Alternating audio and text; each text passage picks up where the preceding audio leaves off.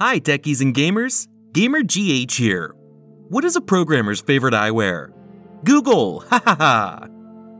AMD launched Zen 4 600 series motherboards featuring socket AM5 and four new chipsets X670E, X670, B650E, and B650. In this video, we will explain the difference in the various motherboard features based on the different chipset. For those who do not know, a chipset is a group of interdependent chips on a motherboard that control the flow of data and instructions between the CPU and external devices.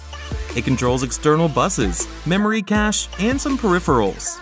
AMD's 600 series motherboard lineup are X670, B650E, and B650, which includes only the latest socket and memory configuration. These chipsets are built for Ryzen 7000 series processors recently introduced by AMD and released in late September 2022.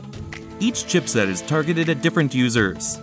Here is a chart from AMD comparing the key features like PCI Express, USB, and SATA ports between these different chipsets. X670 Extreme This top-end option is for users who want support for future PCI Express 5.0 capable graphics cards. This chipset is likely to be found on all the top-end motherboards tailored for PC enthusiasts and workstation users. It packs 44 PCI Express lanes with 20 lanes capable of 5.0 speeds, 12 USB 10GB per second ports, 2 USB 20GB per second ports, and 8 SATA ports. X670 if you don't need a full complement of PCI Express 5.0 lanes, but still want a lot of fast USB ports and SATA drive connections, the normal X670 should do the trick. It does still support one fast NVMe Gen 5 SSD as well. It packs 44 PCI Express lanes with 4 lanes capable of 5.0 speeds, 12 USB 10GB per second ports, 2 USB 20GB per second ports, and 8 SATA ports. B650 Extreme. This one is a bit of a paradox, being an extreme version of a more mid-range chipset, but it might be popular with enthusiast-focused boards that are limited on space or price. It gets the same level of PCIe 5.0 support that X670 Extreme has, just with a reduced number of PCI Express 4.0 lanes, USB, and SATA ports.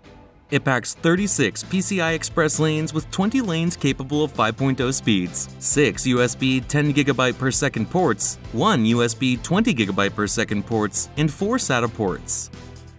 B650 For the time being, this will be the most affordable chipset option supporting Ryzen 7000, but even if a lower model comes out, this will probably be a popular choice for compact micro ATX and ITX motherboards.